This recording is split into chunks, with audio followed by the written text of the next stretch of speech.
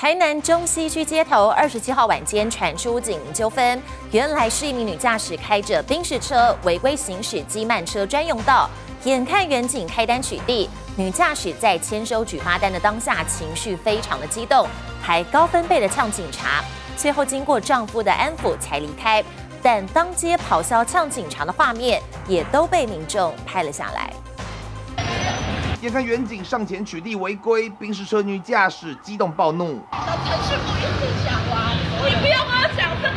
越讲越大声，不仅高分被咆哮，女驾驶甚至下车向虾。你要说我会做公务，我哪里会做公务？发现另一半已经失控，女驾驶的丈夫赶紧下车了解。讨厌我，你们讨厌我什么？就怕女子出现更脱序行径，支援警力获报前来。我是讲完了，让我不要走了。事发在二七号晚间，台南中西区友爱街，当时宾士车女驾驶违规行驶机慢车专用道，就在签收举发单当下，她竟情绪激动，最后经过丈夫缓颊安抚，这才悻悻然离去。而另外疑似在高雄，则有男子对着同事咆哮呛虾。工程公司内一大群员工放松聊天，但下一秒男子竟大声怒呛。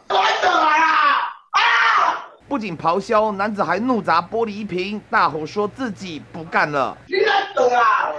网路上流传这段员工发生口角的监视器，并标注地点位于高雄。对此，辖区警方经过比对，确认案发地点并非设置于仁武区。本所员警未接获报案，员工口角原因仍有待厘清，而唯一确定的恐怕是同事之间已经伤了和气。记者这么的。